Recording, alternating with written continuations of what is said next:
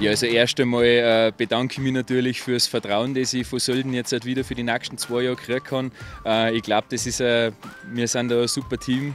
Ich fühle mich fit, ich fühle mich soweit gesund. Also die ganzen äh, Verletzungen, was ich alle gehabt habe, sind jetzt endlich einmal so gut es geht auskuriert. Und ja, ich glaube, vom Skifahrerischen her schaut es auch schon wieder ganz gut aus. Von dem her, ich freue mich, wenn es jetzt dann losgeht.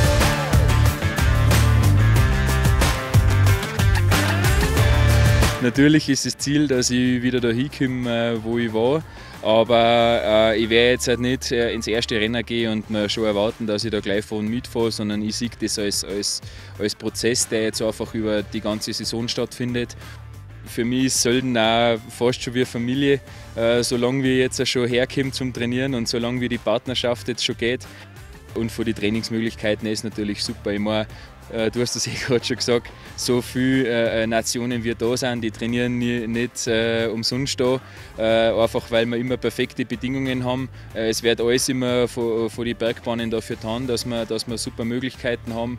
Ähm, das ist nicht selbstverständlich. Und ich meine, im Sommer, wie man es ja schon mitgekriegt hat, gibt es ja auch super Trainingsmöglichkeiten mit dem Radlfahren äh, in der Area 47, äh, wo, man, wo man super Sachen machen kann. Also ich sage einmal, Fahrt, wenn es einmal im Ötztal Fahrt wird, dann ist man falsch aufgestellt, glaube ich.